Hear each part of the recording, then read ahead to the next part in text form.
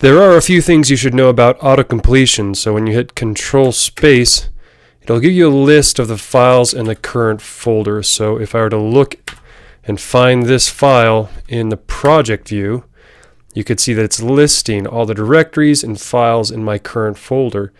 Now, if I want to find the files that match the type of file that should be allowed in there, you can see that it suggests down here, press control space again to search for all matching project files. And this will give me a list of CSS files in my project because I'm inside of a link tag. So I could actually select Bootstrap here, hit enter or tab, and it would generate that entire path, relative or not, to that file.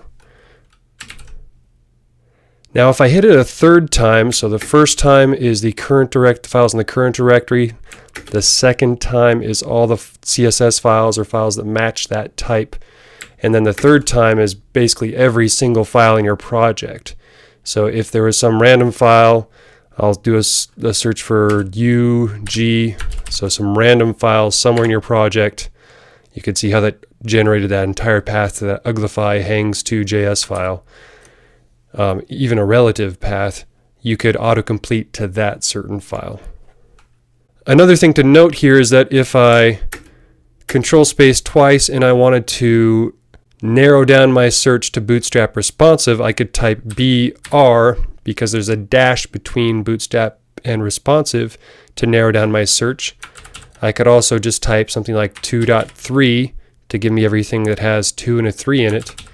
And of course you could do something like docs and get the first three letters and it'll highlight in the results the way that it matches those files. So you can see in the first result it has docs and in the last result it has do and then .cs as the match. And finally, in the preferences, there are some options for code completion under your editor settings. So for example, if you want case sensitivity, then you could change the case sensitivity to act on all of your auto completion options or just the first letter. You could even disable the auto pop-up of code completion if you'd like to do so.